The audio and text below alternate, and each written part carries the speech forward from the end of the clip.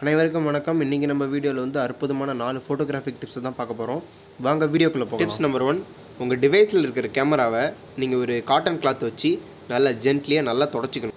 Tips number two உங்கள் டிவைஸில் இருக்கிற camera செட்டிங்ஸ்குள்ளே போய் ஷோ கிரிட் லைன்ஸ் அப்படிங்கிற ஆப்ஷனை எனபிள் பண்ணிக்கணும்.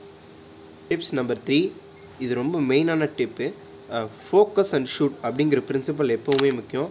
எந்த ஃபோ எந்த ஒரு ஃபோட்டோ எந்த ஒரு பிக் ஒரு ஆப்ஜெக்டாக இருக்கட்டும் இல்லை யாரோ ஒரு மெம்பராக இருக்கட்டும் யாராக இருந்தாலும் சரி ஃபோக்கஸ் அண்ட் ஷூட் அப்படின்ற பிரின்சிபலை எப்போவுமே நம்ம ஃபாலோ பண்ணி ஆகணும்.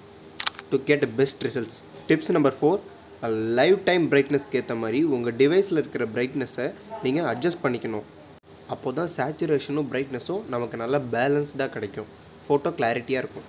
இப்போ அந்த பையன் லைட் சோர்ஸ்க்கும் ஆப்போசிட் சைடில் நிற்கிறான் இவனை நம்ம ஃபோக்கஸ் அண்ட் ஷூட் பண்ணி எடுத்தோம்னா இதுக்கு பேர் ஆர்டினரி வியூ இதுவே இவனை லைட் சோர்ஸ் இருக்கிற சைடில் நிற்க வச்சுட்டு நம்ம ஃபோக்கஸ் அண்ட் ஷூட் பண்ணி எடுத்தோம்னா இதுக்கு பேர் ஃபோட்டோகிராஃபிக் வியூ ஜஸ்ட் அவன் ஷேடோவை மட்டும் காமிக்கிறது ஃபோட்டோகிராஃபிக் வியூ வீடியோ பிடிச்சிருந்துச்சுன்னா லைக் பண்ணுங்கள் சப்ஸ்கிரைப் பண்ணுங்கள் மறக்காமல் பெல் பட்டன் அழுத்திடுங்க கமெண்ட் பண்ணுங்கள் இதே மாதிரி உங்களுக்கு நிறைய ஃபோட்டோகிராஃபிக்ஸ் டிப்ஸ் வேணும்னா அடுத்த வாரம் சண்டே நம்ம வீடியோ மறக்காமல் பாருங்கள் love you all and bye